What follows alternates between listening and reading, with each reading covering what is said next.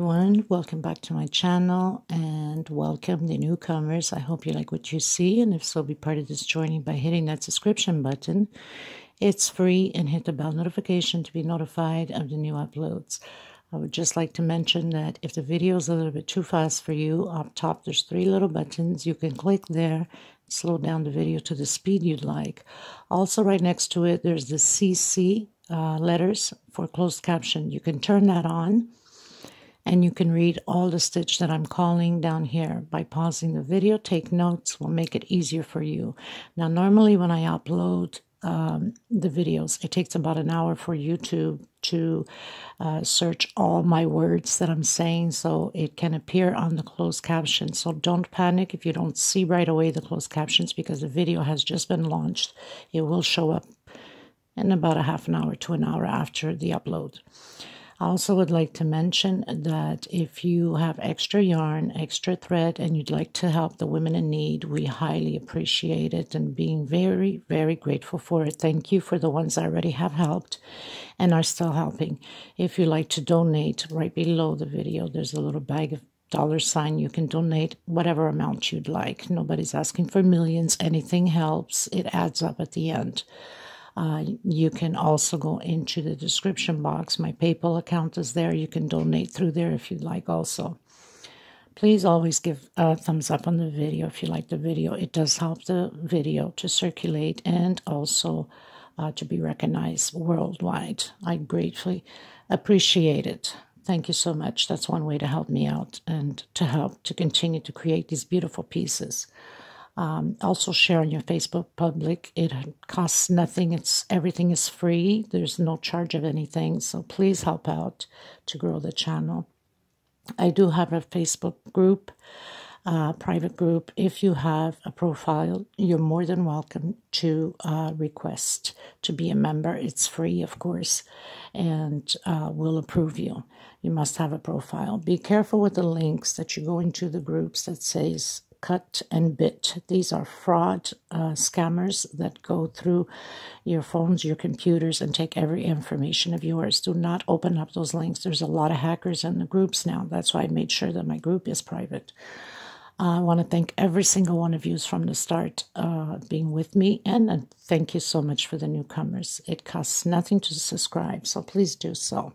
Thank you so much, everybody. Everything will be listed always in the description box for every pattern that I create, the sizes, the thread that I use, which is Portugal thread. They're 100% cotton thread, four ply, which is similar to Aunt Lydia number three, which num number three Aunt Antlidia is just a little bit thicker than my thread, not by much, but a little bit. I usually use a hook 3 or 3.5, a small one for tucking in loose ends, and a pair of scissors, of course.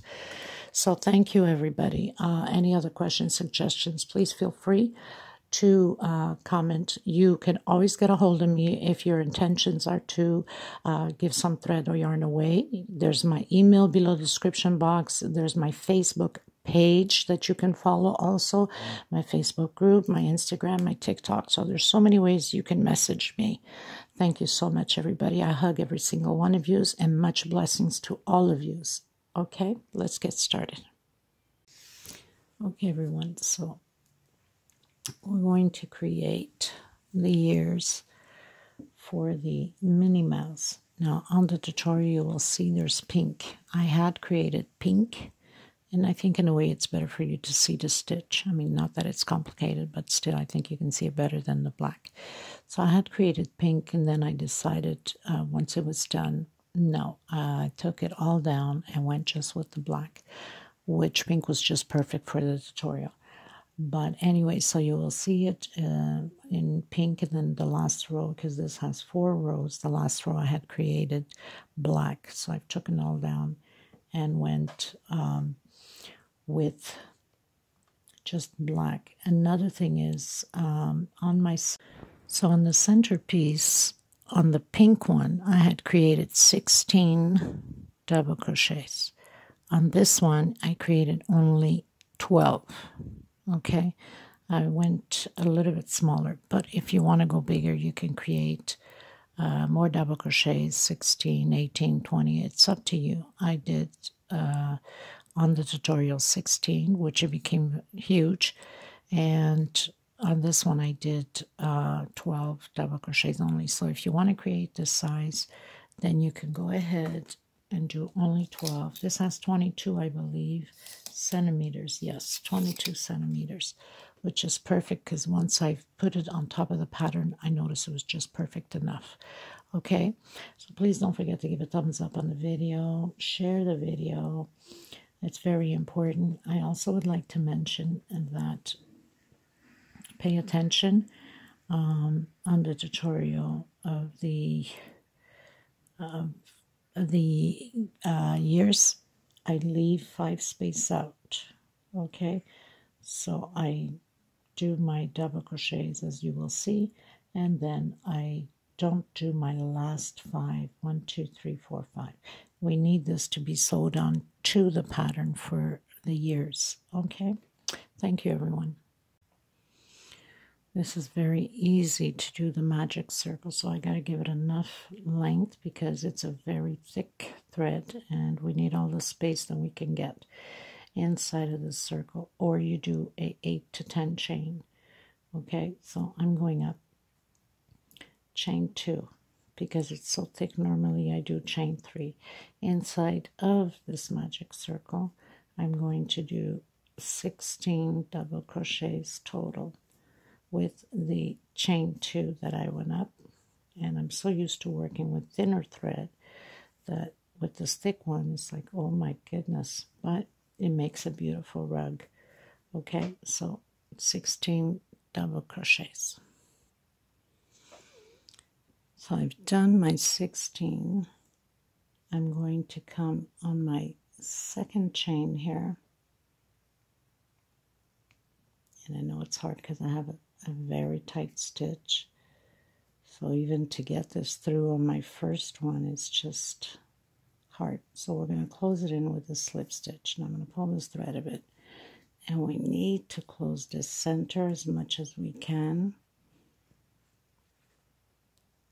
And then at the end, we'll put a, a, a needle through and go in because the hook is too big to go in through that tight space.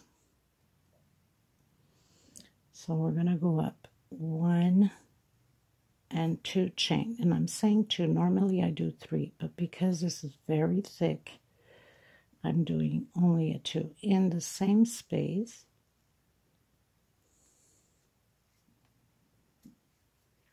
we're going to do another double crochet. So we're going to have to do two double crochets per space.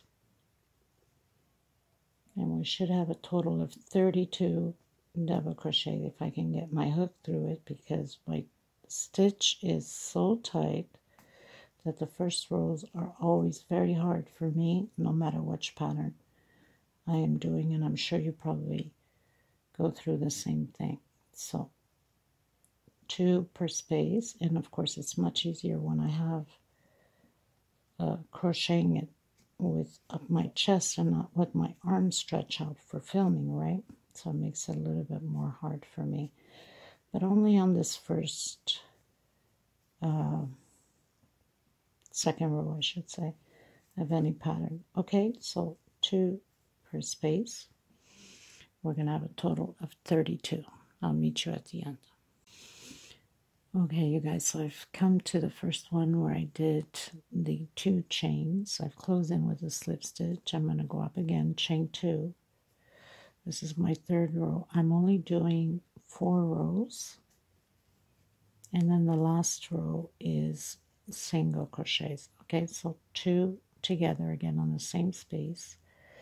Next space, I'm going to do one alone.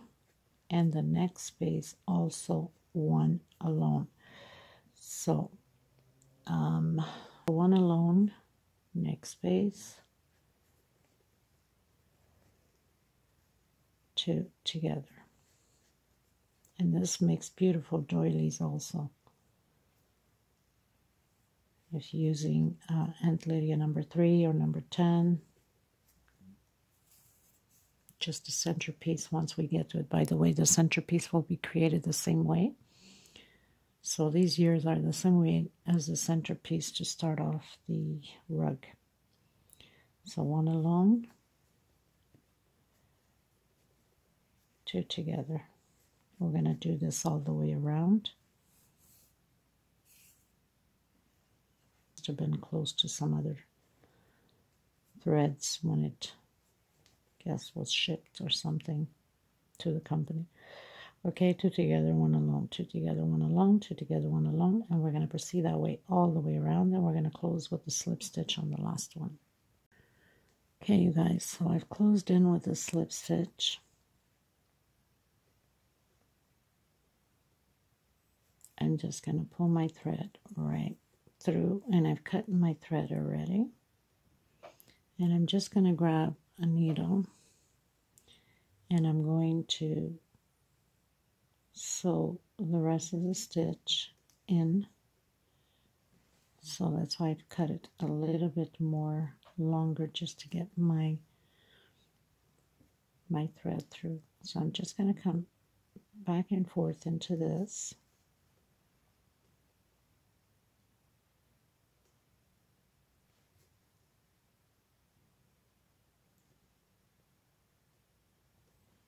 And then after I'll hot gun glue it at the end.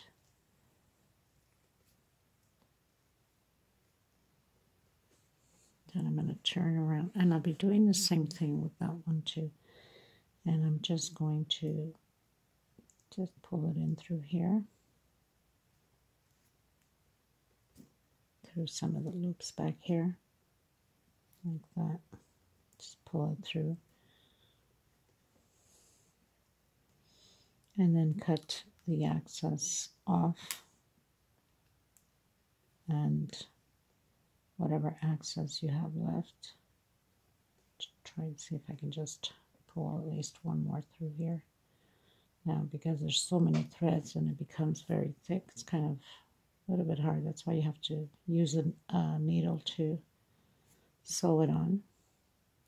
But the more you put through the loops, the safer it is because it, you know, the thread is very thick thread. So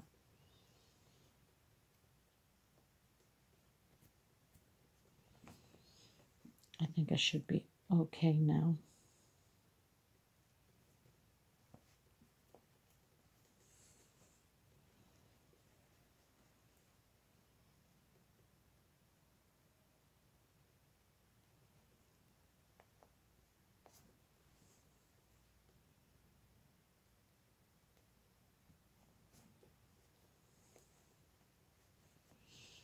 Okay. And then cut the excess off. And then I'm going to glue afterwards this little edge right into the pattern like that. And then you would do the same thing with the middle one here if you're doing the magic circle. You would just put it in through the loops. Okay you guys I pretty much sewed into my loops so now we're all safe and secure I'm going to come in with the black now. So, so now I'm going to do my fourth row with a black. And I know black is hard to see, but this is very easy to do because it's the same procedure as this one. Two together, but I'm using back loops only. If you want to use front loops, that's fine. Go ahead. I'm going to use back loop only. I'm going to do a single and one chain. I'm coming back in the same space and I'm doing another double crochet. Now we're going to have two alone and two together. Next space. One double crochet alone. Gotta make sure I grabbed all my my thread here.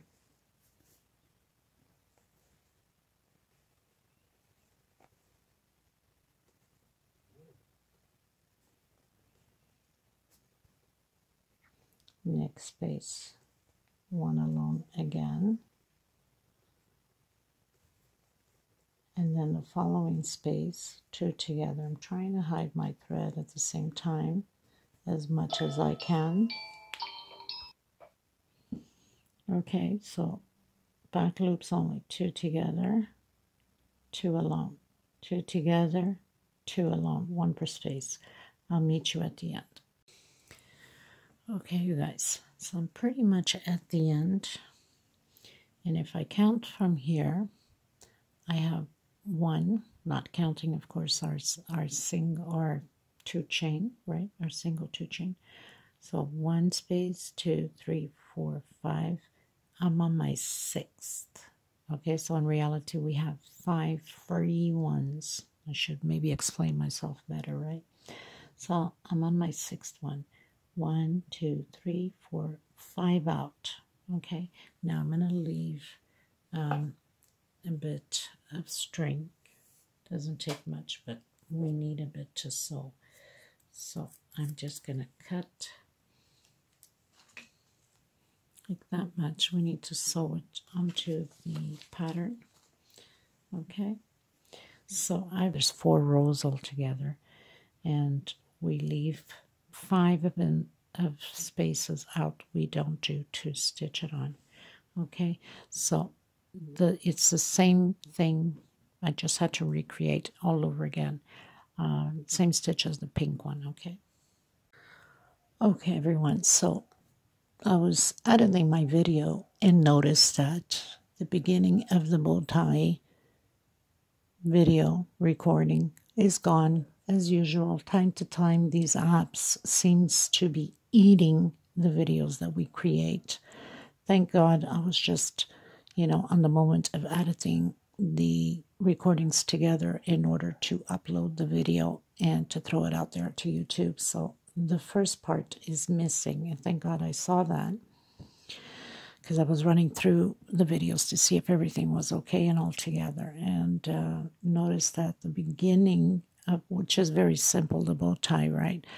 Uh, but the beginning is missing. So on this uh, bow tie, I'm going to give you the size. This is a big one because my rug is big, but if you're making like a, a doily or a smaller rug, um, with thinner thread or yarn. You don't need a size this big. This is very thick thread, so it's very big. I'm looking for my measuring tape. Good God.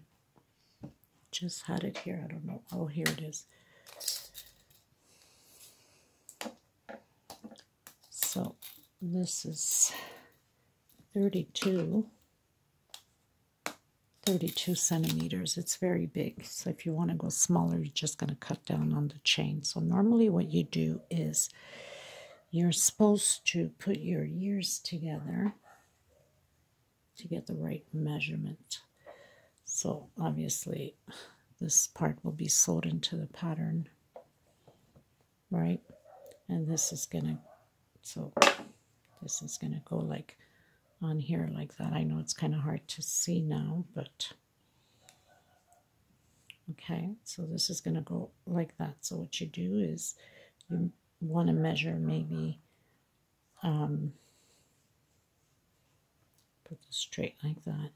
Maybe you want to measure how big you want to go into in the pattern if you want your bow tie to stake out more. Maybe it's best if I do it this way if you want your bow tie to stick out more or to stick out in. You can measure it and then take it from there and see what's best for you. Um, I still don't know how many. I guess I'll get to that when I'm on the tutorial for the centerpiece. So I'm just going to demonstrate it. So this one I have 24 um, chain stitch. But since this is a, a you could go 20 you can go 18 depending on the size you would like the length of the bow tie. I think 24 is too big, so you best probably go with uh, 20. Okay. My God, that's a big difference using the other one to this one. So slip stitch knot, and let's say you're going to do 20 chain stitch. So this is very simple. I have six rows on there. It's only double crochet, one per space, and you're just going to work back and forth on it. So let's say I'm just doing a demonstration here. So you're going to do your 20 double crochet and then you're going to come one, two, three on your fourth space. You're going to come down and you're going to do one double crochet per space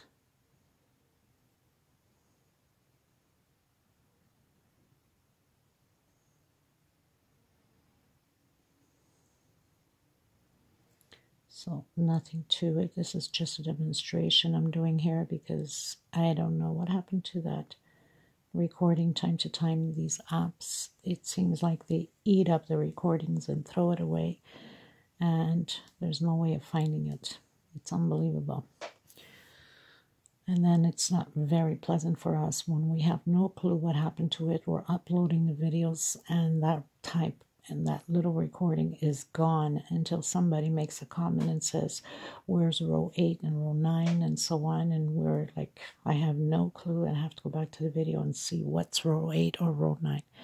Anyway, so you do your 20 or your 18 or your 16, depending on the length you'd like your bow tie. Then you turn around and you go up again, um, chain 2 or 3 for some of you, and then 1 per space again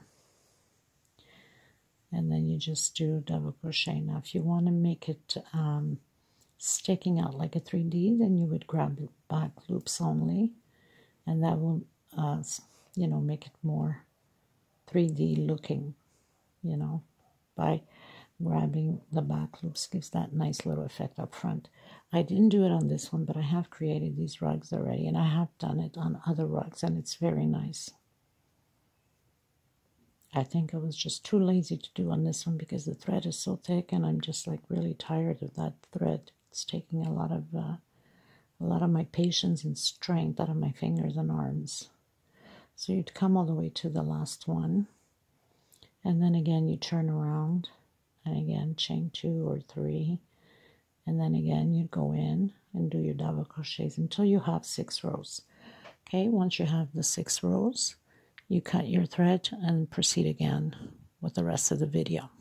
Okay, so very simple as that. It's just one square that we're making, exactly like we have here. This is just one square.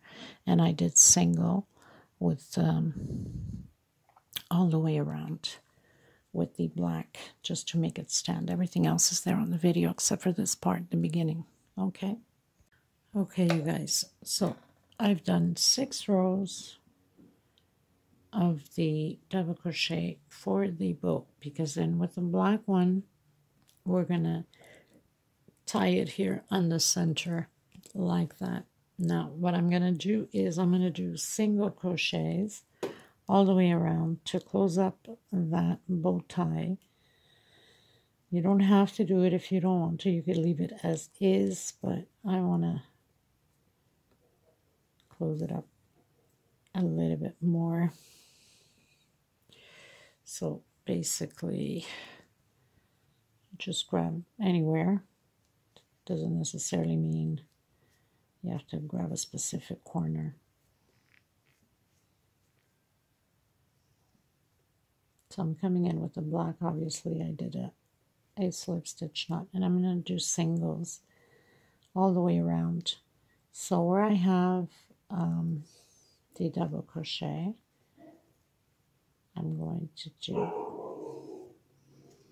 the single. If I need to do two singles per double crochet, then I will. If, it, if I need to do only one, then I will. You see how it uh, plays out for you guys if you need to do two or one double crochet. Try to hide my leftover thread that I had there. So I'm going to try to see two singles. If I find it's too much, then I'll do only one. I don't want to leave big gaps on it either. So, okay, and I'm going to do this all the way around.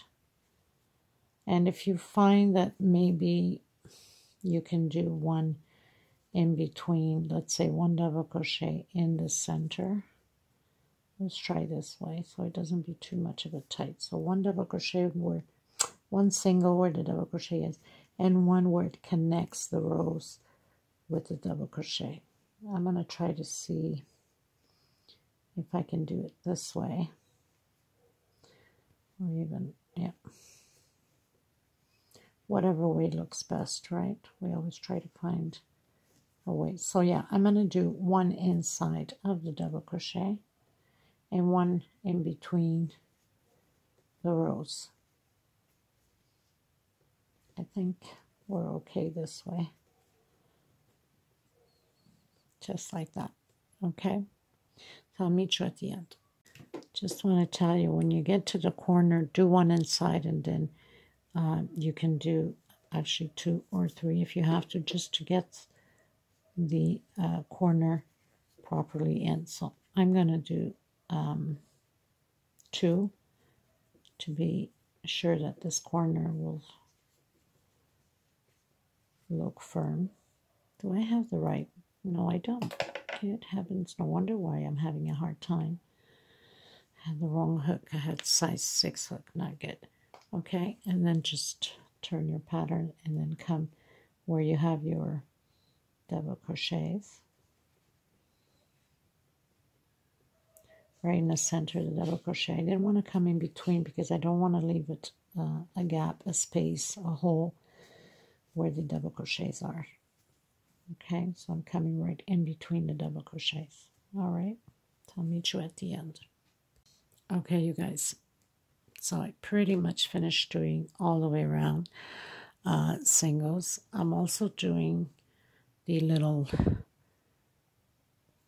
squares, uh, not squares, round circles here with singles.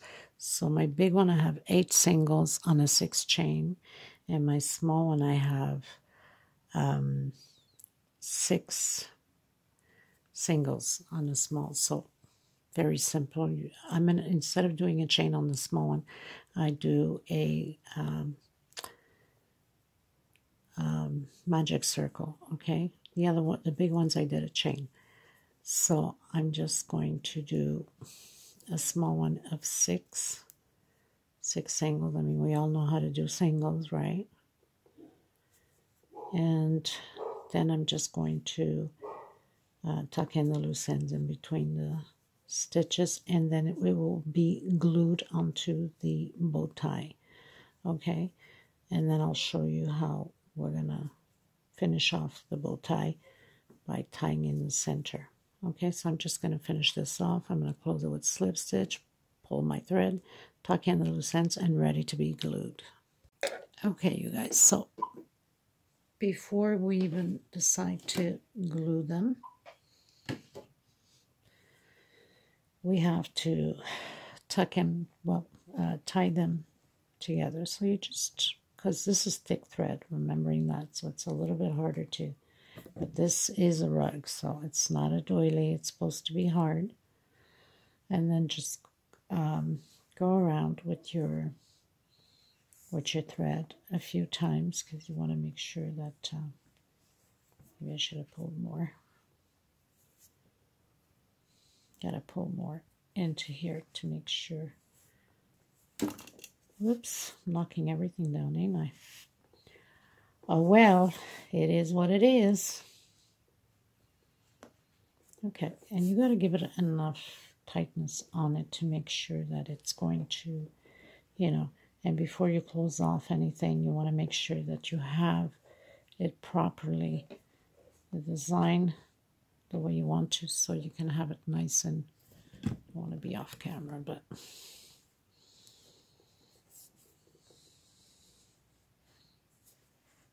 And you got to give it a nice nice tie there so it can look like a nice little bow tie right?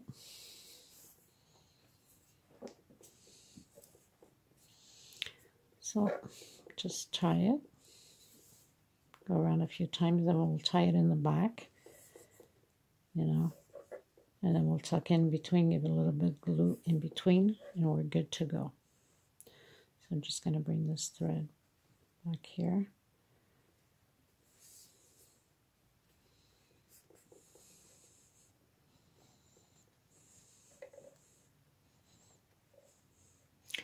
Okay, so I think I'm good. So I'm going to tie mine in the back. Give it a nice tie in the back here. I'm going to cut my thread to make sure that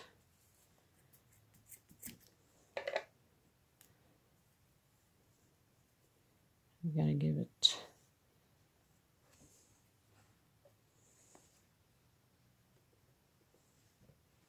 got to make sure that it's pretty much center before you close off completely just make sure that you have your design exactly where you want it to be because then this will be glued into the pattern and then it will be too late if you don't have it all fixed fixed up right?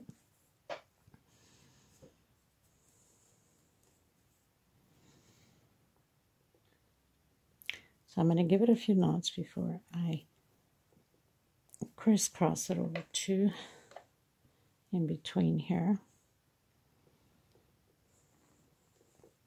now that's extremely tight crisscross it here. I'm to give it another tightness and then it's going to be glued so it's not going to it's not going to go anywhere. I'm going to tuck this underneath here because then I can cut the excess off, right? And there you go. Then I'll cut the excess off and glue the rest right in. Then it's just perfect.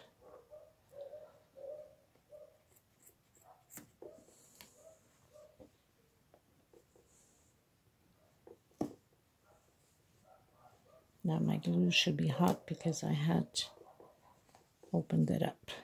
So now trying to get you guys here. So I'm going to put my my uh, bigger one up top here. And I'm going to compress. And sometimes it doesn't have to be a whole lot, but because this is thicker thread, you gotta you gotta put enough. It's a rug, right? It's not a delicate doily.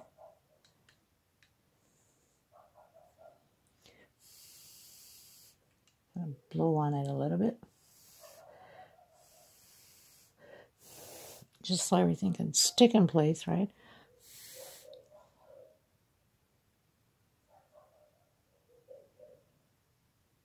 So I'm going to have to um, stop for this video here and then the rug itself it will be a complete different video because then it's too much all in one video and I can't do that. So now here's the, the opportunity for you to put uh, your transparent glue in the areas that you think needs the, I put too much here, needs the glue at the edges where you've cut your thread off and things like that. Now we should be okay.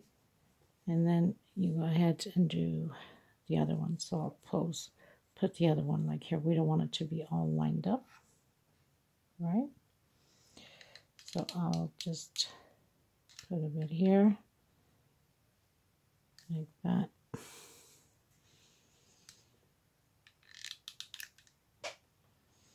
And then do the same thing on the other side. So this pretty much does it for this video. Stay tuned for the rug so we can complete the years and the bow tie together. And I'll see you in the next video. Until next time.